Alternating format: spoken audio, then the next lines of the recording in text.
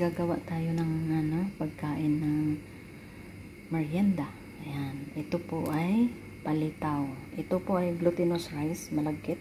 Saka ito yung ano ko, coconut at saka sesame seeds. Ayan guys, pag ganyan na siya, lumutang, ibig sabihin, ah, luto na yan.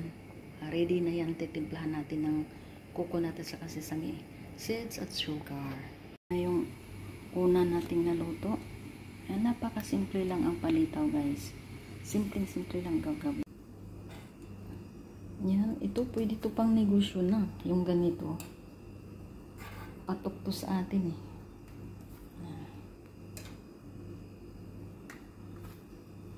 So, ngayon, lagyan natin ng coconut na may sesame seeds. Ayan.